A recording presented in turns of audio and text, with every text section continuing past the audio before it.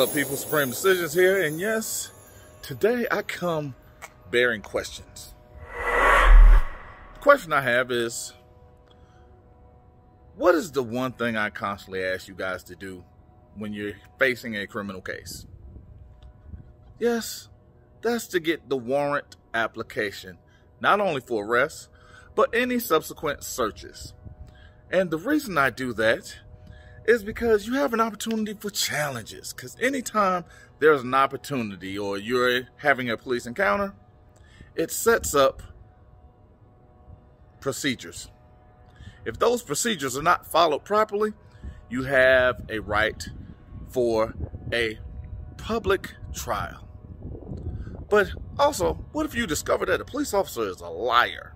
What if he lied? Or she lied? You know, equal opportunity. You have this thing called a Franks hearing. A Franks hearing actually originates from Franks v. Delaware. Yeah, it's an actual case.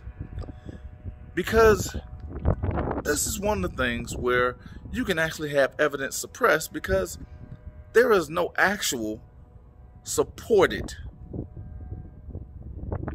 supported probable cause that's placed into the warrant application to get a warrant. Because anytime you find a lie or discrepancy or something of that nature, it allows for that evidence to be suppressed. This is something that a lot of you not going to like what I'm about to say, but it was found out in the Breonna Taylor case. It was found in one of the police officers' application for the actual entry that there was a discrepancy.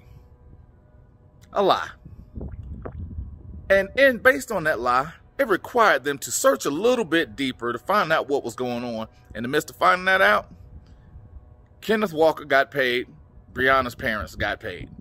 So keep that in mind. Franks v. Delaware allows you to check out the warrant application, and if the police officer misspeaks, lies, have a discrepancy.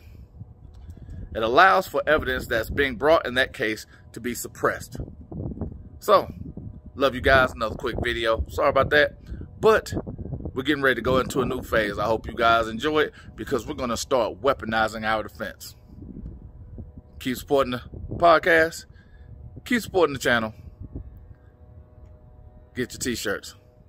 Supreme, out.